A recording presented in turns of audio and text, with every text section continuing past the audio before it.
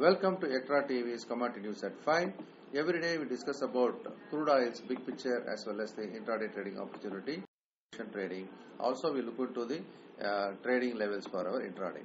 So we'll go to the daily chart. In this daily chart, after a continuous uptrend happening here, now you see it resisted strongly at uh, 3680 levels.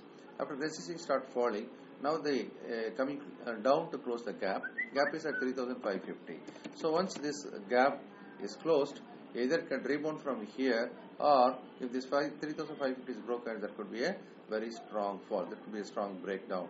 So let us understand the trading opportunity for the day. I'm just going to the hourly chart. Here we found the same 3550 is acting as a support and the resistance is coming at 3600. So 50 points risk you are supposed to take. I'm going to mark these two important levels for you to trade.